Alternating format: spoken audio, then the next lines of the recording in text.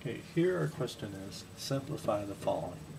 We have 3x squared y to the third, and then we have a parenthesis. And we have a minus sign outside.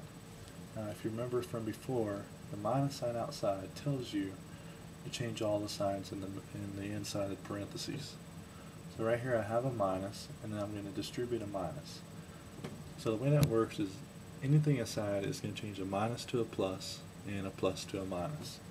So when I change minus, minus, well, that changes that to a plus.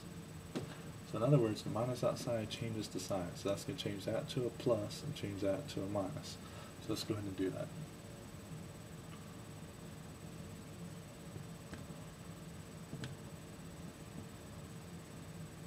Change that to a minus, right?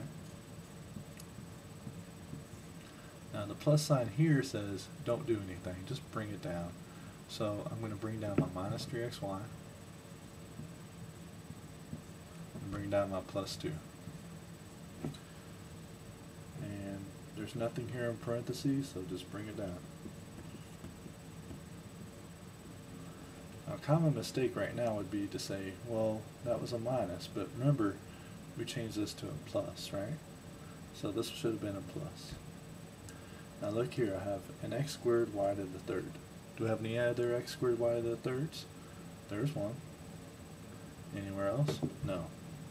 So what's 3x squared y to the third plus 3x squared y to the third? Well, you have three of these, and three of these would be six of those. Please keep in mind that when you add these two polynomials, it's tempting to change that to x to the fourth and y to the sixth, but that's not how it works. Okay, here I have minus 2xy and minus 3xy. I have minus 2 of those, minus 3 of those, so minus 5xy. And I'm left with the 2. So I got my answer is 6x squared y to the third minus 5xy plus 2.